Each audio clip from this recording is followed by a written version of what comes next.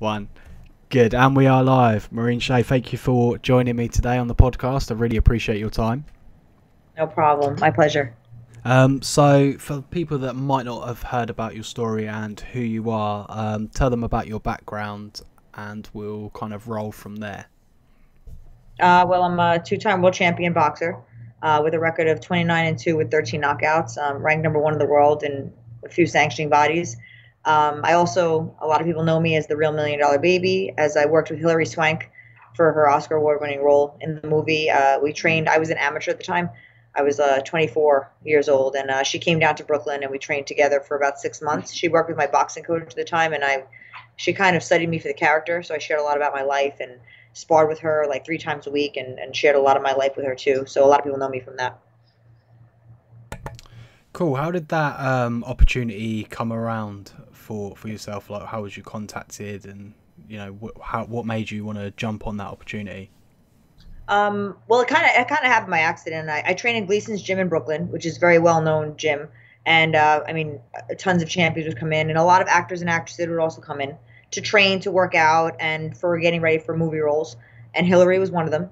She came in. Uh, it was actually a trainer that she was working with, or somebody recommended her to meet with my coach at the time, who was Hector Roca. So she came down to the gym, and then Hector paired me with her specifically because um, I fought at a lighter weight, so we were similar in um, in weight. And Hector also knew that I have control. So I never went in there. I, I, knew how to work with certain people. I even work with kids, or I'd work with what we call white collar boxers, people that are, don't necessarily want to fight, but they just want to kind of spar and learn. So I had a lot of control, and I always went in there to kind of work on what I had to do.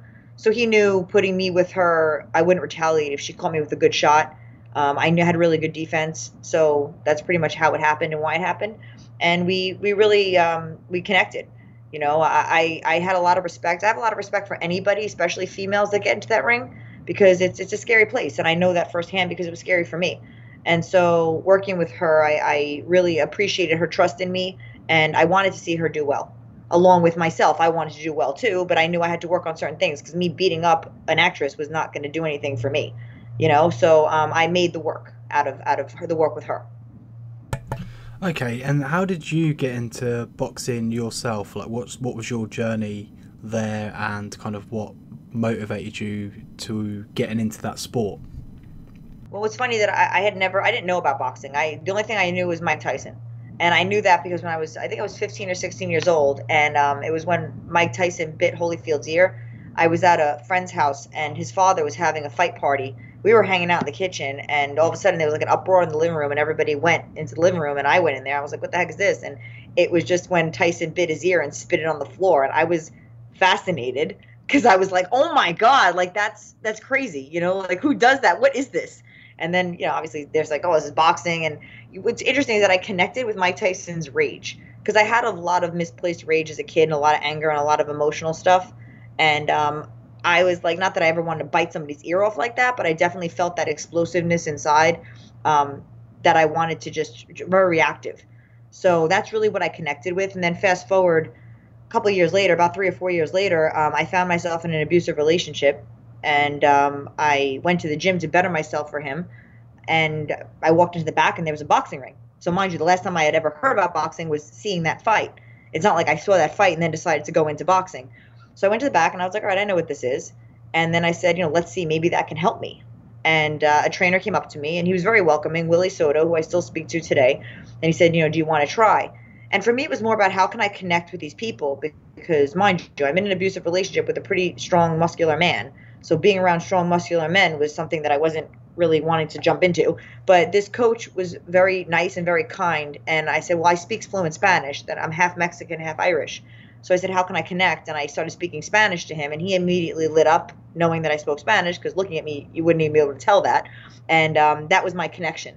And then after that, I felt I felt safe, and he always made me feel safe, and I fell in love with the sport, and it helped me in so many areas of my life. It helped me um, to go back to school. It helped me um, get out of that abusive relationship, and really, I like to say that boxing was the architect that rebuilt me because I, I was broken when I when I found the sport.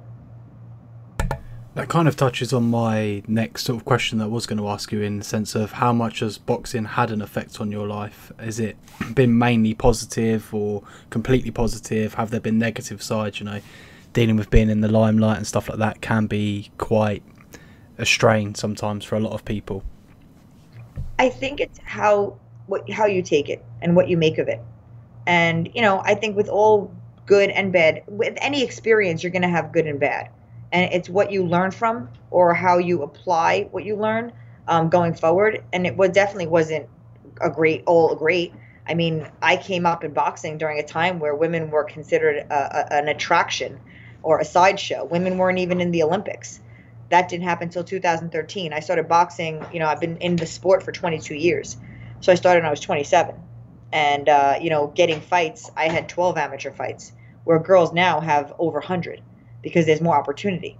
So it was definitely challenging. I felt like I had to break through like a glass ceiling. And I just kept trying and kept trying. And it was more my faith and I just believe that there was a purpose. Like I believe God had a purpose for my life, and it was just so weird because nothing. The only thing that led me to boxing was really my my heritage, you know, being Mexican and Irish. So people like, oh, no wonder you box because I wasn't raised in it. My parents didn't really push athletics. I mean, I played sports, but I never stuck to anything because I got bored.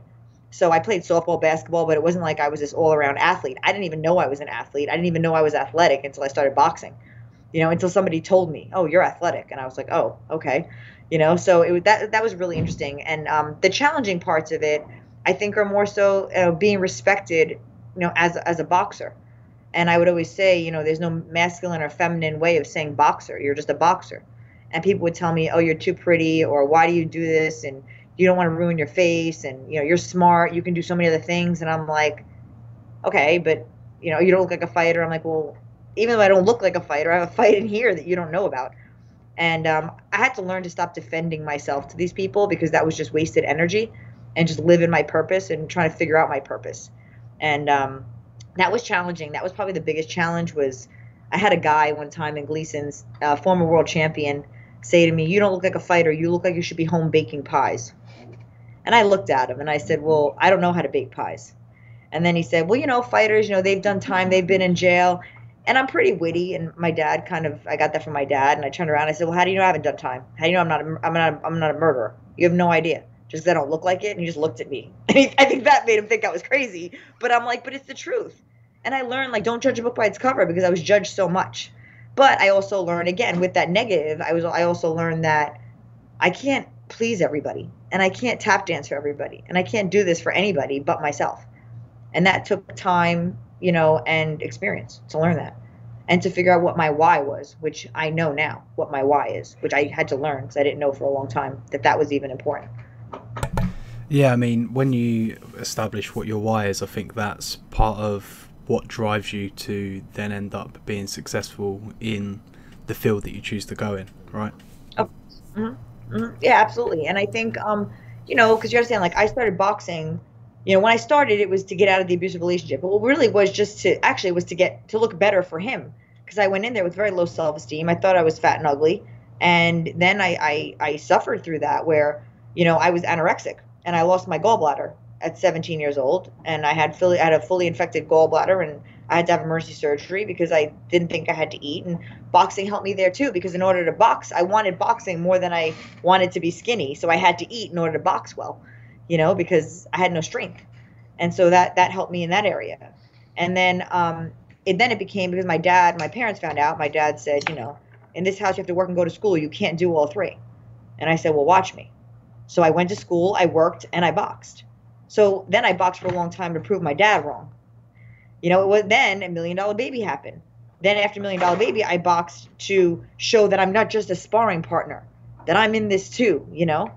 and then it went on from there. But now my why my why is simple now. At, at 39 years old it's because i can. Because i can. It's that simple. It's just because i can. And i'm good at it. So why not?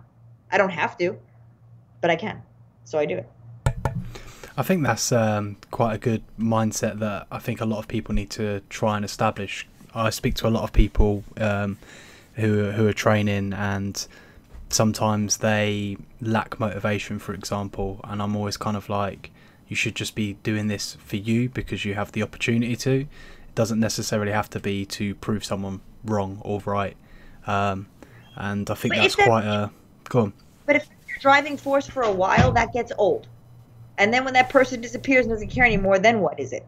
You know what I mean? But I think that I don't think it's necessarily a bad thing when people start because of that, and then they have to learn to discover, you know, that that real thing. And it's it's it's owning your truth, but it's also learning your truth.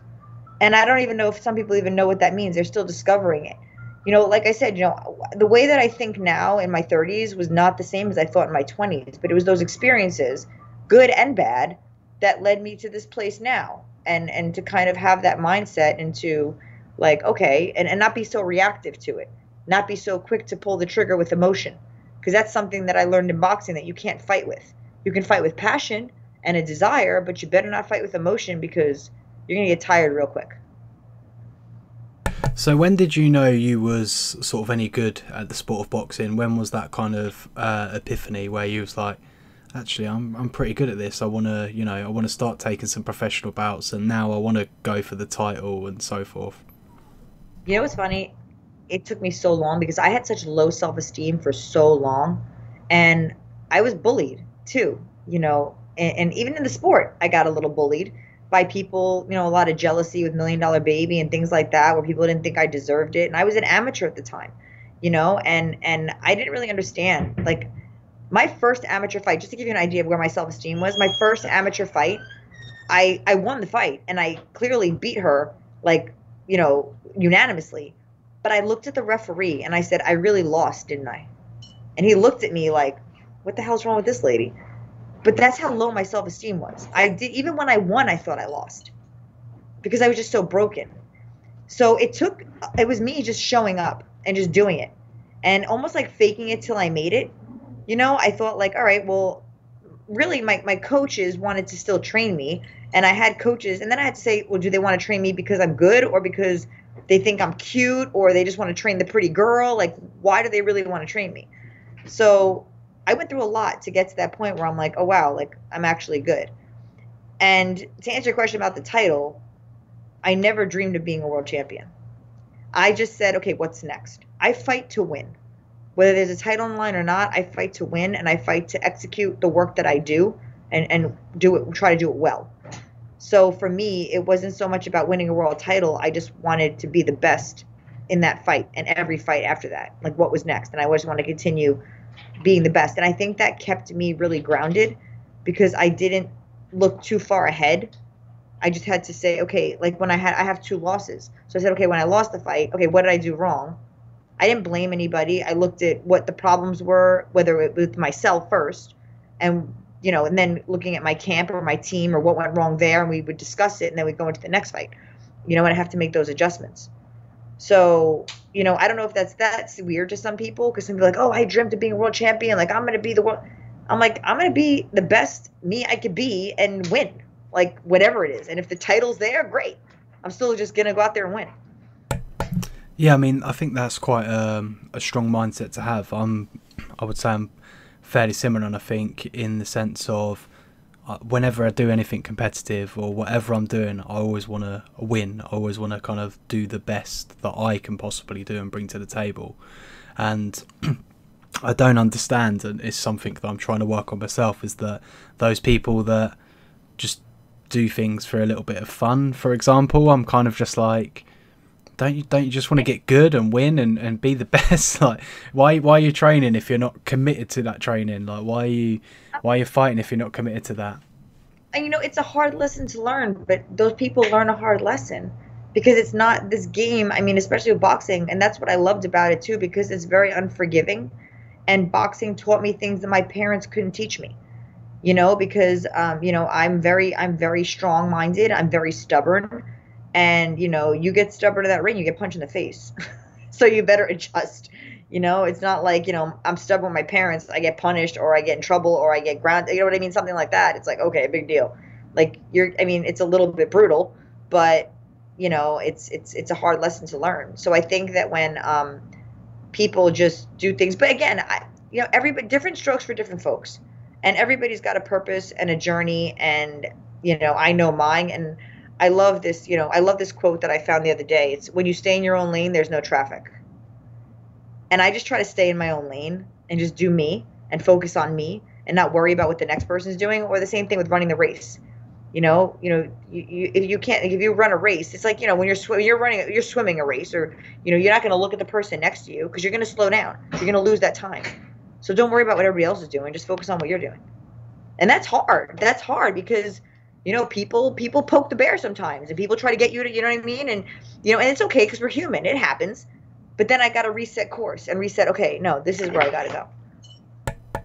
Yeah i mean i think um, i one of my biggest downfalls is that i'm a snappy guy. So when people are getting involved in my shit i'm quite snappy and uh, a lot of people have said it's it's little man syndrome for me because I'm a I'm, I'm a short guy, so so I'm always like fiery. I'm just like, don't get involved. Well, I get the same way, and I think it's being a female where I feel like I, I sometimes I defend myself when I don't have to, and I always feel like I have to be fight harder, you know. And and I know, but I recognize it. But you recognize that that's huge that you recognize it, and then if you want to make the adjustment, make it. But if that's who you are and you like who you are, don't worry about what other people think. It's too bad. You know, they don't got to be in your life then that's how I look at it anyway. Because I'm like, if you don't like me, I mean, listen, there's people that I love in my life that I ask them, like, what do you think? Or if they say to me, hey, listen, I noticed this about you, but I know they genuinely love me. And I take into consideration what everybody says. But at the end of the day, it's up to me to make those changes if I choose to. And if I don't, then I have to deal with the with the outcome, which could be maybe not having this person in my life or that person in my life. You know, because I'm not willing to adjust for everybody, but I'm also open minded enough to say, you know what, you're right. Like i can i can probably fix that or i can be better at that. And i think that's that's a very strong mind. But don't get that twisted with i'm going to let somebody tell me who i am and what i got to do to be better. I know you know? But that's that's a champion mentality. You know knowing yourself owning your truth but still being open to listen to the people and having the circle around you of people you trust. That can give you you know constructive criticism and then you you consider it and you're like okay. But if not who cares? You can't please everybody. Yeah, I mean, uh, I, I would say I've got a uh, champion's mentality. Um, I'm gonna go with I'm the champion of doing fuck all. if you're gonna be good at something, you've got to be good at it, right? So that that I'll get a title yep. for that at some point. Yep, yep. Um, how did you cope with your uh, nerves? So, like pre-fight nerves and things like that. Did they hinder your performance? Do you feel like being nervous brought the best out of you?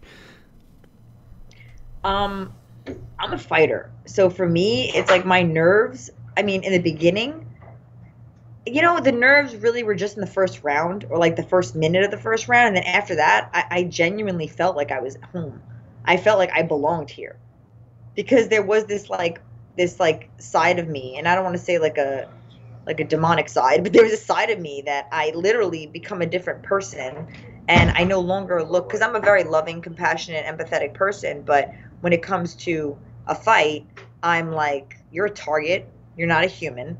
You're a target, you know, and I'm gonna, you know, I'm I I, I throw punches with bad intentions, and I'm gonna I'm gonna dominate. So that's always my mentality going in. But the first round, and anybody will tell you. It's always like all right what's it's it's pretty much i think the nerves come from the unknown. Where like okay what's gonna happen? Like is this person like how hard did they hit? Is it gonna be like this? Gonna be like that? Like what's the rhythm? Am i gonna find my timing? Like that kind of stuff but that that goes out the window. And i you know after the first like minute for me. And then i find that um i go into the ring with a confidence. And it's a confidence in my work. It's a calmness because I genuinely know that this is where I belong. And I know now wholeheartedly that I'm good and that nobody, I know that there's no female out there that has my style. I know that for me, but I also have been told that by multiple people. They're like, I've never seen anybody move like that. And I'm like, yeah, because I've made my style my own. And um, that really trips up a lot of people. So, what kind of training are you doing at the moment for yourself to help keep yourself in shape? Um, and you know, obviously keeping your knowledge up to scratch as well, because obviously you do the coaching side of things with with athletes. That, that kind of happened by accident, which is interesting, and we'll, we'll touch on that because that's an interesting story. But um, well, I'm getting ready. I'm, I'm still active. I'm still fighting. Um, I fought in January, and the good thing about being a veteran of the sport, and and um, you know, I take I've always taken care of my body. Um, anybody who knows me knows that I'm like I've been told people always comment you're so disciplined. Like where do you find the motivation? And I'm like because I know my why. and I'm honest with myself. And I, I genuinely love what I do. Even if I wasn't fighting, I would still be in shape. I would still be training. You know, I had a sparring session the other day that was kind of like, you know, mentally going into it. I was, I mean, I was good, but then I was kind of like, it's funny, people might trip out of this, but I'm like, I don't want to be here.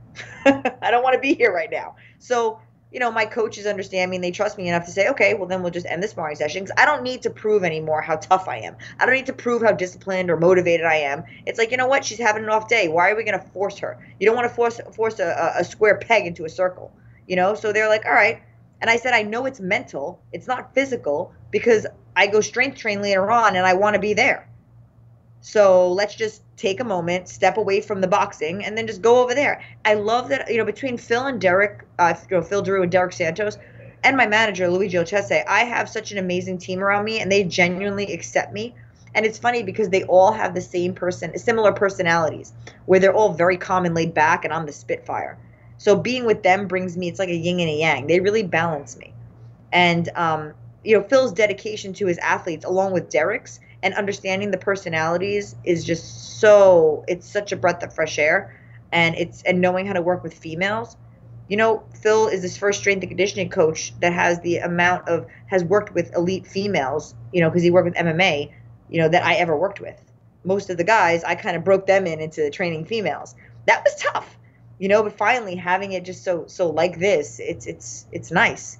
And so i guess you know I'm at your question with, with with you know nerves and things like that like it's really a confidence in yourself and it's a confidence in your game plan and the rest is in god's hands. That's how i look at it. I'm like you know what? I did my part. The rest is you know up to that. So what how would you best describe your coaching technique your coaching style? Are you quite like fiery with people all up in their grill or is it case by case basis it's yeah i would say it's a case by case basis. Um i love and and phil taught me about doing um an athlete assessment. You know he does the braverman's test and i i like that sitting and speaking with an athlete um for whatever reason they come to me and i sit there and i kind of hear them and it's funny as a woman i hear things that they say that a man might not say where they may not say it but i hear i hear the message if that makes sense. Um, because i've been through a lot you know, I've been through a lot, whether it's an abusive relationship, I've been, you know, um, I've suffered with anorexia, like I told you, compulsive eating disorders, um, you know, depression, like I've been through it all. And I kind of hear little bits and pieces of me in those women. And I kind of know like how I had to handle myself during that time. I know how to handle them. Or I'll try to approach them a similar way and see if it works. But it's really a case by case basis, um, depending on on them. Like you know, I'm working with Stefi Cohen, for example, and you know who she is, 25 time world record breaking powerlifter, and who wants to box. Now, then I have a young girl, and they actually sparred today. Then I have another girl, um, Kessie Estevez, who you know works in business, and she's beautiful, and she's you know she runs. She's more of like the weekend warrior fitness, but she's got this warrior inside of her, and she likes to box. And I'm like, all right, they're two very different personalities, but I have to approach them differently. I can never disregard Stefi just because she's new in boxing. I'm not going to disregard what she's achieved in the powerlifting world. She's an elite athlete in her own right. She is. Even though she's not an elite boxer, she's still an elite athlete. So I need to approach her with that confidence and that belief in her. Where Kessie has never really competed at a level of, of like Stefi, but she also has something inside of her in business and in ed- education, where even Stefi has that, because Stefi's also a doctor of physical therapy, but Kessie also has multiple degrees. So I approach her with that, you know, coming from that angle. So I think you have to look at the athlete and see where their strong points are, and then work off those, because the weak points will either grow and get stronger, or they'll disappear. But you got to tap into the strengths. What is the? Um, I think you said it's the Braverman's test. Is that right? Yeah. I, what's that for people that might not know? It asks if they try to figure out if they're like um uh like what they're dominant in, like what they're like if they're um uh I, I guess it's like they're um you know I have one even next to me. I don't know if he has a drawer open because I'll read it to you. They'd have to look it up, but it looks like like if they're alpha, beta, like things like that, and if they're dopamine dominant and think you know and how the training, how you have to approach them and you know, um, that kind of thing. And it kind of gives a little bit more of the personality based on these questions that are asked. Okay, so almost like um, a personality test to an extent Yeah, of like, yeah. now I know how Yeah. to approach you, and now I know how to train you. Yeah, Okay. exactly. And I love that Phil does that because I've seen him do it. And it's funny, you know, I'm his executive assistant as well, which not a lot of people know that because that's my business side that I need to work that business side of my brain. And, um, you know, working with him, I see, I, I've learned so much from him. And um, that's something that I love that he does, you know. And him and I, when I first met him, he talked to, we talked for like over an hour when I met him in 2016. That's when I started working with him and because I at that point I, I didn't just you know I'm already a world champion, you know, two-time world champion. I'm not just gonna go work with anybody, but he came highly recommended by a very good friend of mine, and I knew he was working with some elite level um, combat athletes. So I said, okay, well let's see because I don't know who he's worked with in boxing, you know, and and I wanted to talk to him, but he let me talk and he kind of gave me a braverman's test without ever without even giving it to me because i'm an easy i'm easy to read you know i just i'm just like blah here i am and i know that and he realized that right away because i just kept talking you know and he was like okay but he asked some questions that he felt he needed to get feedback on and i think you know he knows me so well like so well Yeah, I mean, uh, one thing I've gathered from Phil when I've spoke to him is that he's very quick at assessing things and kind of knowing people's personalities quite well, as well as so much knowledge. He's got so much knowledge. Honestly, sometimes when I talk to him, I'm like, Phil, uh, I'm lost, mate. I'm lost with you. yeah he's so smart and you know and i love that. But I, I appreciate the way that he thinks because I, think that way too when i'm talking about boxing where i'll go into a whole explanation about why a fighter is doing a certain thing. Now the way that i speak to it with derek is going to be different than the way i talk to it talk about it with somebody who may know boxing but doesn't really know the science behind it or understand the, the strategy and the technique behind it you know, even some of the MMA fighters that I talk with, you know, one of the guys that's out here right now, Keith Speed, you know, he'll come to me and, or, you know, he's working with Derek now, but he comes to me and he'll say, so what if I do this, this, and this? I'm like, well, you could go this way and then this will happen, or because I could do this. And then he's like, oh, but he's thinking MMA. He's thinking, you know, going for a takedown. He's not thinking strictly hands, you know, so I'm giving him the boxing side of it. And, um, and I think it's so important for, for MMA fighters to understand that too, even though they don't necessarily just just punch. Boxing and striking is very different. First of all, let me tell you that.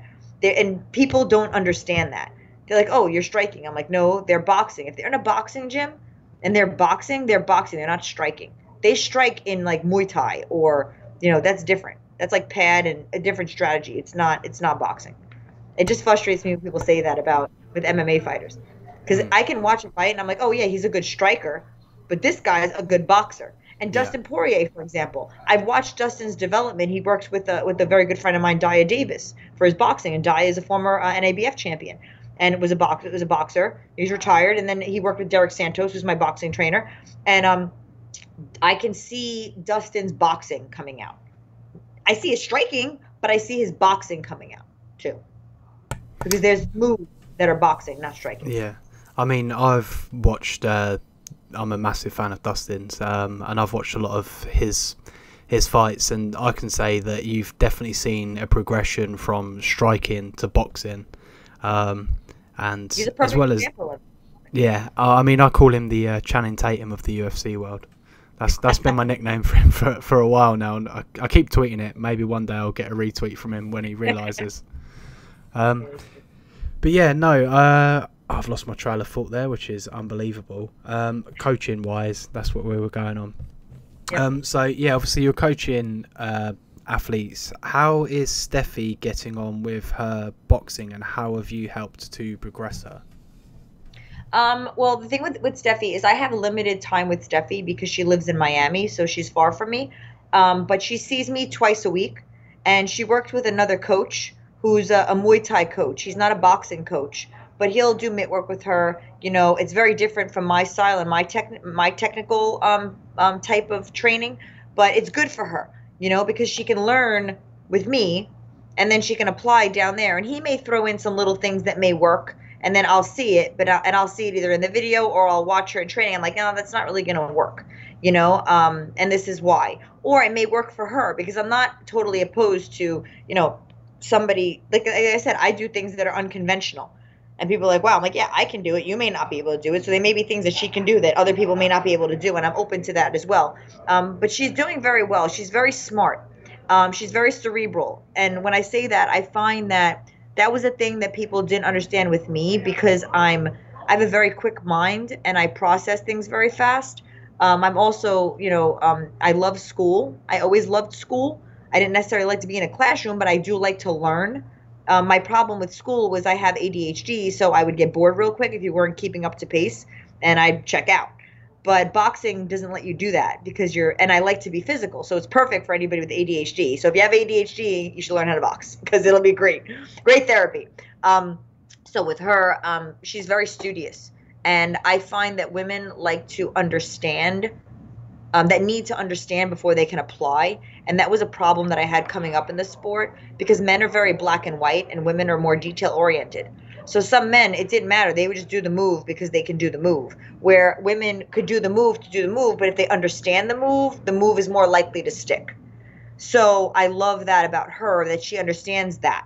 You know, where I say, okay, this is why. And they don't even have to ask me, but she'll stop and ask me because I always let them know, ask me if you don't understand because I will have an answer. I want you to understand it because I know that you'll be able to apply it. And I didn't have that. I was told because I said so or just do it. And I was like, so I would have to go home and watch fights on TV and try to figure out moves. And then I would go to the gym and do those moves. And then my coach is like, oh, all right, well, let me show you. I'm kind of massage like it's almost like that ego thing where it's like, oh, she can do that. All right, well, let me let me teach her. Meanwhile, he didn't teach me. He just showed me how to do the, the move and where. But I already did the move because I studied the tape to watch it. Arturo Gatti was somebody. I swing on the ropes. I learned that watching Arturo Gatti. You know, um, even with Mike Tyson. You know, I, I learned kind of like my head movement. Sometimes I'll come in and I watched Mike Tyson do that. Roy Jones. I love I love to have the shaky shoulders like Roy Jones. You know, dropping my hands and throw punches. So even Floyd Mayweather, I'll do the shoulder roll. You know, but I'll apply it to my style.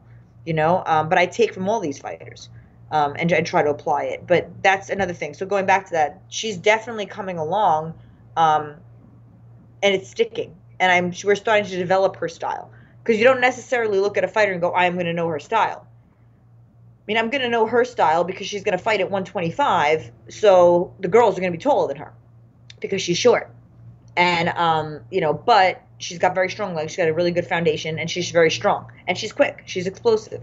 So now it's just working the technique and working on the head movement and the countering. Seems like we've got a uh, another Mike Tyson then, basically. Get that head movement, that bobbing and weaving, and then bang. That she's strong. Um, she actually caught my girl today with a, with a jab, and my girl's uh, she's Kessie is about I don't know five six, five seven, and and Stefi's like four eleven, I think you know? So i mean and but she threw the perfect jab but I, we said i had a game plan for both of them because i coached both of them. So i had one day with kessie and i coached kessie on the game plan for stefi and then i coached stefi on the game plan for kessie. Now mind you kessie's got more experience and more ring experience. This is the first time stefi ever sparred. So you know i had to tell kessie listen work with her a little bit but get your work in. But the reason that stefi caught her was because kessie squared up and I said, but Kessie knew right away what she did wrong and why she got caught. And then she adjusted it. That's what I love about these women. And then Stefi, again, she had to make some adjustments too. You know, and there's things that she doesn't really know how to get away from yet. But, you know, the one thing about her is she's definitely a fighter. There's no question about that. She's very competitive, which I love. But now we have to use that and start to just kind of mold the uh, technical aspect of it. So, in a different sort of um, category, I guess you're training Paige VanZant for bare knuckle at the moment. What sort of things are you doing with her? And obviously, she's got quite a vast amount of experience as well. So that's an interesting that's an interesting case. I, I'm not I'm actually not I'm no longer training Paige VanZant for bare knuckle. I was training her. She did come to me and ask me, and we were and and um you know I actually haven't spoken about this publicly yet, but um you know it's very difficult uh you know, Paige, she, you know, she's still an MMA fighter. And as the coach, I have an approach to an athlete. and there's things that I can do and I can't do because I know it's going to affect my coaching and I'm not going to be able to give the fighter, you know, 100% of me. So, you know, she's still, it's very important to her still while she's training for bare knuckle that she still continues with her MMA. And for me, that's very difficult.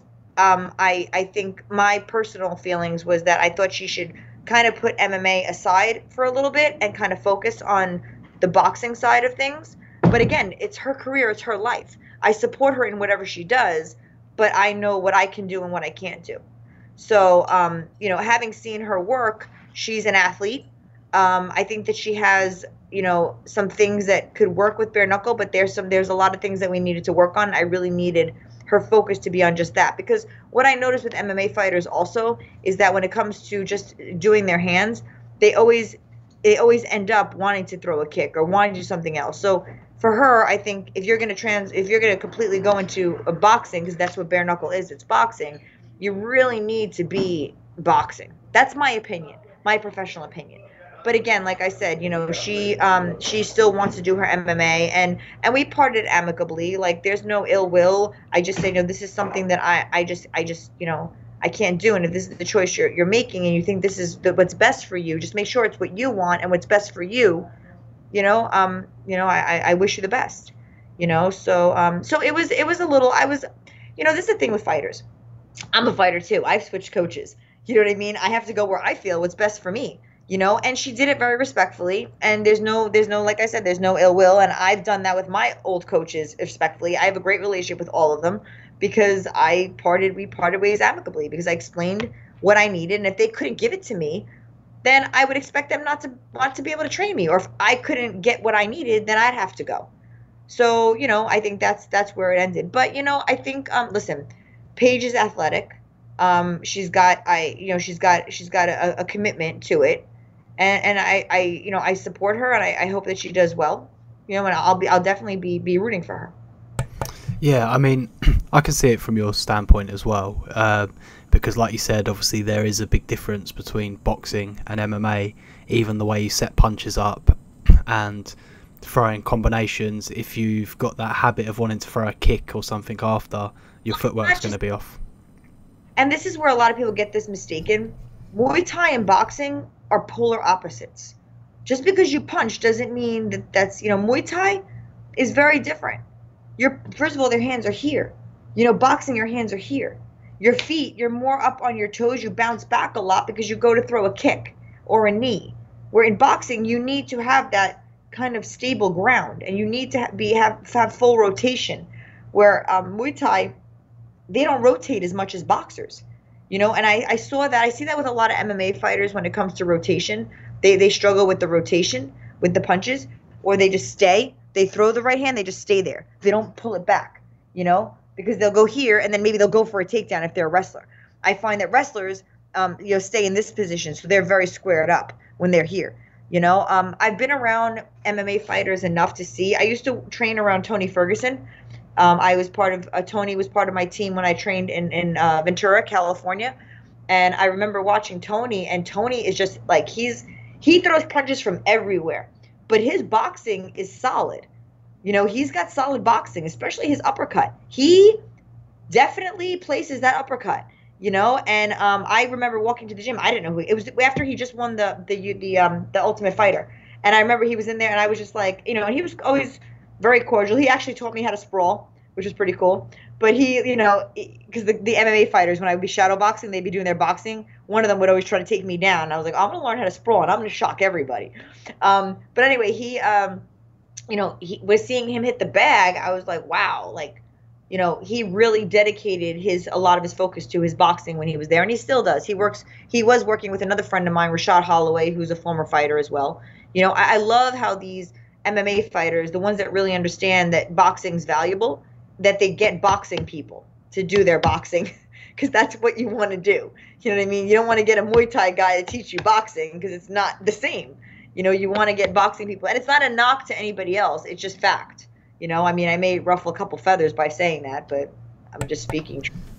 That is true. I mean, at the end of the day, if you're ill, you go and see a doctor, right? You're not going to go and see, well, if I don't know, yeah, someone down the road for, for, for, for a foot problem, you know? Yeah. Exactly. Yeah. Special if that's that's the point in specializing in a field, and then approaching that person and being like, look, your speciality is this. This is what I need to improve in, or this is what I'm going into. So can you and, teach me? And I have no problem. Listen, and for me, it's not about. I'm not gonna say, oh, it's not about the money. No, it, it's not. I mean, I get paid for my time, but at the same time, I'm not gonna say I'm not gonna say I can help you when I can't you know so i always meet with a person before. I have a very selective few fighters that i train. I don't just train everybody. You know i'm not that's not what i do. You know that's not my full-time job. You know my full-time job is fighter and assistant to phil. And trust me being an assistant to phil it's a full-time job. You know he's a very busy man and i'm, I'm running a lot of his schedule and, and, and including the gym the facility that he opened you know um, and i love it. But um, you know you know he even asked me you know why do you do it? I'm like because i love it. Like i love doing me a comment? No. Do you need me to get out of your office? No, oh, okay. Phil's leaving. But I was just complimenting how I love training, how I love working for you. I'll talk to you later. Bye, Britt. See you later, Phil.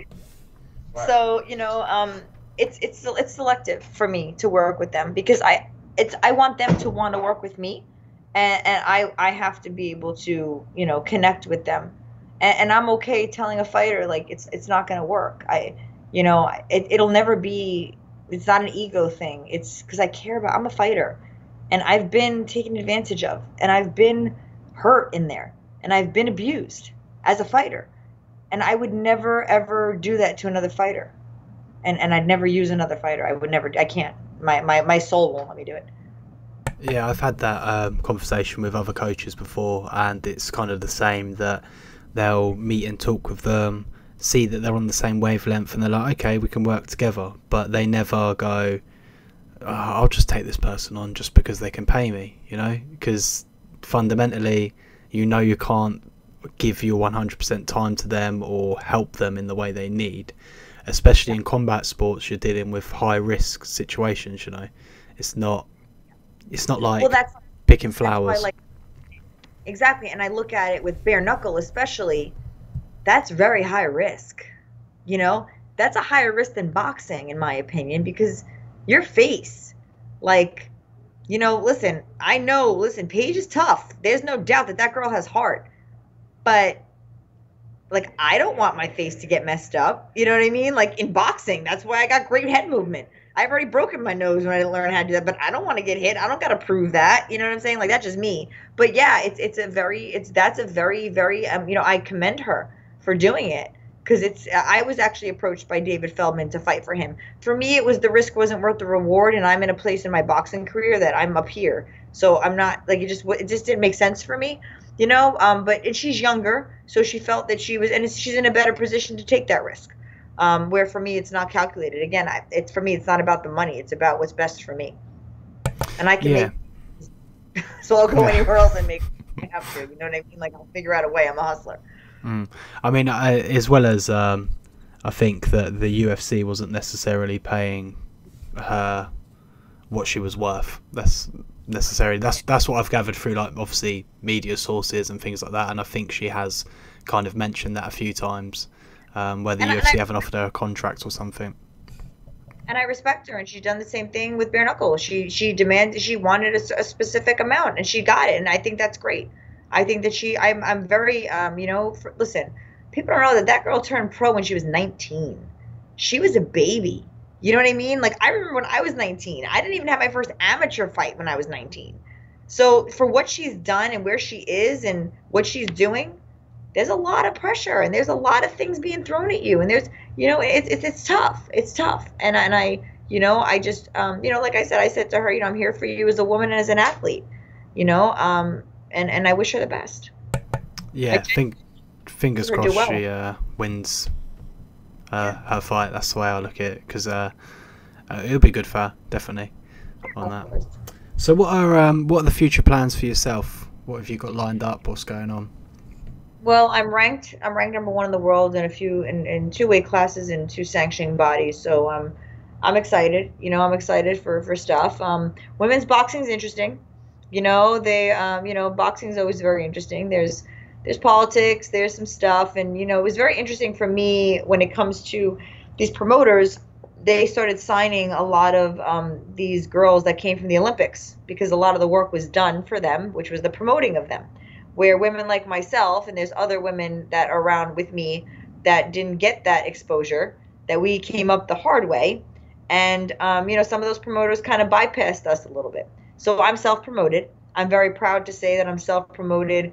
Um, and I've, you know, as my record stands, you know, 29 wins, two losses, and 13 knockouts. Um, I'm two-time world champion. I've fought for every. I have one draw for a world title that I thought I won, but I got a draw and another one that I lost. My first title attempt was when I was 13 and 0. And um, it's you had a question, and I, actually this was it brings the question to mind. My toughest fight um, was actually that fight.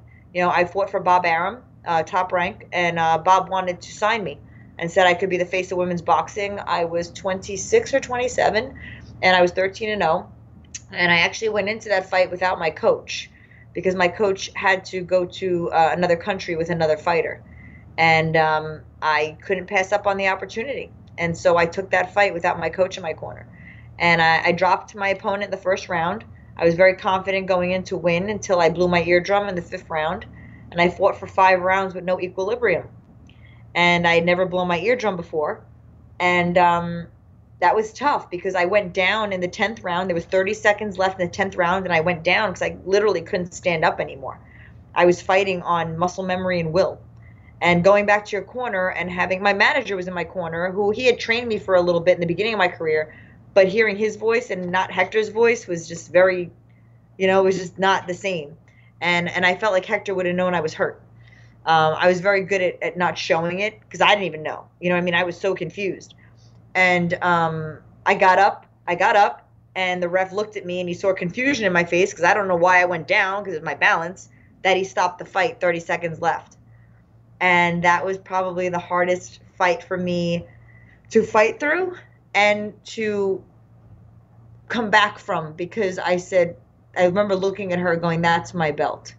Like I just lost, and the opportunity that I lost. You know, Bob Arum signed Mikaela Mayer, uh, you know, after she went to the Olympics and, you know, and I'm glad that's great. But that could have been me. But again, I have faith and I believe that everything happens for a reason.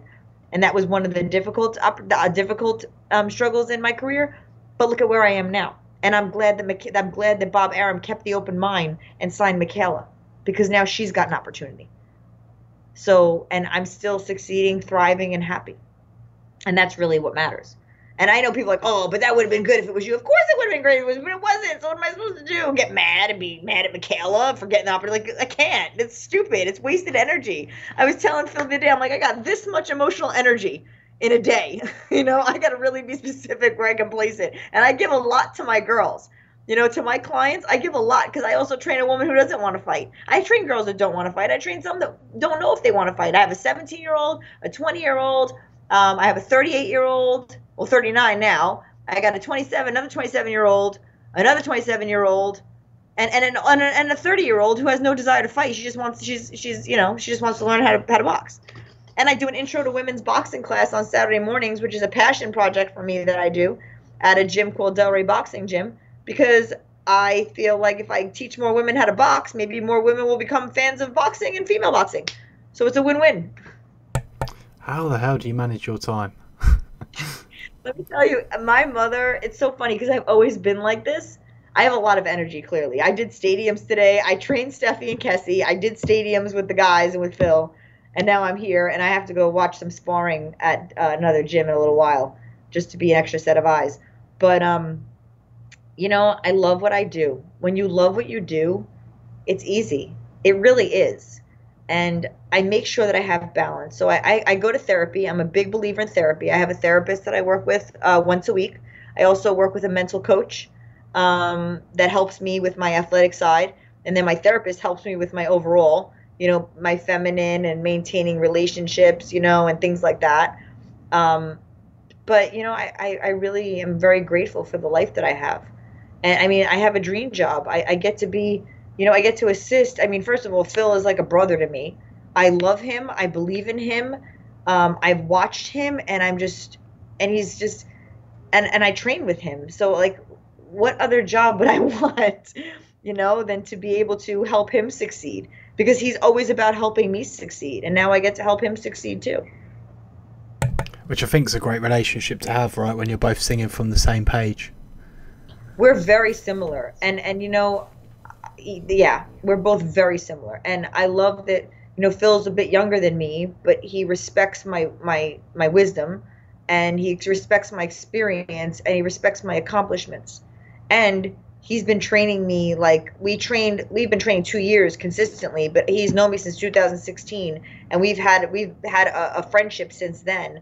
We trained together for uh, almost a year back then but then i moved back to california so we still stayed in touch and i always come to see him and he kept his eye on me. I kept my eye on him and so he he knows me. He knows me pretty well. So, so what sort him, of things sorry go on. Okay i just had for him to put me in that position. For me says a lot. Yeah. So what sort of things are you you you two doing together training wise? Um you know we're doing um well it's right there on the board. you know, Phil, he just sat there and did this whole thing. I love, he's so dedicated. Um, just training wise, um, you know, right now we're, we're I'm, I'm off camp. I'm off camp, so we're doing a lot of um, just variation work. You know, we do upper body, lower body. Um, we do stadiums or track work on Fridays, Saturdays. We do mostly conditioning type stuff. Um, we're actually working with um, a, gym, a gymnastics coach who Phil brought in because he wants to work on a little bit of gymnastics stuff with us, which and flexibility stuff, stretching, which is great. He's always looking for ways to you know um, improve and increase, but he does his research. He does a lot a lot of research. That's why I trust him so much because I see him and he takes a lot of it very personal. You know, his his his job he feels is to keep us safe and progressing and he takes a lot on himself when if that happens if a fighter if a if an athlete gets injured he immediately takes full responsibility and i was talking to him about this i was like you really shouldn't he goes no i have to because i have to help the fighter i'm the leader so i have to help the fighter figure out why and he works really well with my boxing coach derek santos you know because they're very much together and he trains all the fighters that derek has you know i was i was the first one and i remember when i first came out here and i worked with derek um, I told him, I said, listen, I, I work with Phil Daru, so he's going to be my strength and conditioning coach. I'm not going to the track with your guys or going to the stadiums with your guys or running with your guys. I'm doing everything with Phil. And he was like, oh, well, he wasn't big on it. He knew Phil, but he was kind of like, he didn't know Phil like that. And he's like, you know, well, we'll do one of my strength and conditioning programs. I was like, okay, I've done these with boxing coaches, and they're not good. They're just not. They make no sense. It's just work. It's work this, work that. There's no cohesion, none. Okay, so he did, and and listen, that was great because Derek did what he could with what he had. He's a phenomenal boxing coach, but strength and conditioning, you know, I think boxing coaches should leave that to the strength and conditioning coach. But I think it's also important for the strength and conditioning coach to educate the boxing coach on what they're doing and why. So they have to be open minded to have that relationship. Um, so I, I told him, I said after that, I was like, all right, let me go work with Phil. And he was still a little apprehensive because it's, a, again, just like I was with Paige. I'm like, well, this is my responsibility. If you're out there working with other people that I don't have connection with, how am I supposed to know that my job, my work is being protected and you know? So um so I said, "Okay, well, I'm going to work with Phil and if there's a problem that you see with my conditioning or my sparring or my strength, we can all sit as a team and we can talk about it." And he said, "Okay." The rest is history. Here I am 2 years later. Now every boxer that trains with Derek is with Phil because he sees, he's like, "Wow, like Phil's real. Like it's real. Like it's happening." So um, so you know, it's it's great. I love I love being in the weight room. I love I love maxing. I love doing that. And you know, even my my deadlifts, like it helps me to be a better coach for Stefi. You know, because you know I know why she was uncomfortable in a in a in a in a slightly staggered stance. You know, um, she, with a side stance, I call blading, because her strongest stance was sumo. So she she wants a wide her want her she wants her legs wide and she wants to be a little bit more squared up. And she said it to me. She's like, yeah, this is not comfortable for me. But she knew why. I knew why. But she said, yeah, because this is my strongest hand. I said, yeah, but that's not boxing. That's that's deadlifting. I mean, she knew. But I said, you can generate power from this stance. We just have to start working on your rotation because she's got no rotation because she never really did that. So, you know, it's it, but I get it. And she, but she gets it. Plus, she's a doctor of physical therapy, so she knows the body, you know, and, and she knows, I mean, it's just such a pleasure to work with her because she's so smart and she's so and she's young and she's so like you know um, self-aware so it's really but you know i think because i understand powerlifting because I do bench, I do deadlift, I do squat. I understand those motions, those movements, and I know what you feel like when you max. I mean, I don't lift anywhere near as much as she does, but you know, my my my uh, my 135 bench I'm proud of. You know, I got a I got a what a 295 uh, deadlift I'm proud of. You know, but it worked to that. You know, and I understand like the problem with a boxer is that they're not stiff enough. So I lose my lats, I'm done. But she's too tight, so she's got to loosen up. So it helps me to be a better coach and to understand. So these are the things that you know applying and working and working on you know um, core stability um, posterior chain work it's been so important my back i'm i find i'm more powerful now so everything that phil has really explained in what i was weak in and what i needed to adjust to be this and this it happened. So the man knows something. That's it. He's got the secrets right? The pot of gold. Smart. Smart. I'm grateful though. I'm grateful. And he's a great coach because listen you could be smart and you could be great at programming, but if you could be a shitty person and not know how to deal with people, he he does that. He does really well with that. Yeah, Marie, thank you for coming on today. I really appreciate your time. Sure, absolutely. Um, two minutes of your time, if possible, is yeah. basically for you to advertise yourself, where people can find you, if they want to contact you, if you're doing more podcast appearances or not, etc. I always like to give it to everyone. So yeah, fire away. Yeah, so my Instagram is Maureen underscore Shea, M A U R E E N underscore S H E A. Um, I answer. I run my own my own my own social media, so you can absolutely message me. Um, I get back to everybody. And uh, Facebook, same thing, Maureen Shea, and I think Maureen, the Real Million Dollar Baby, is my athlete page. Working on my website, SheaBoxing.com.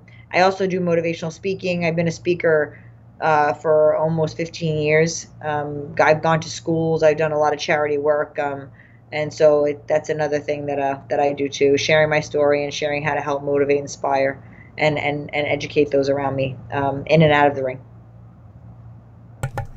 Beautiful. Right, we'll end it there. If you're uh, fine for me to just have a couple of minutes chat with you um, off sure. air, that would be mm-hmm. cool.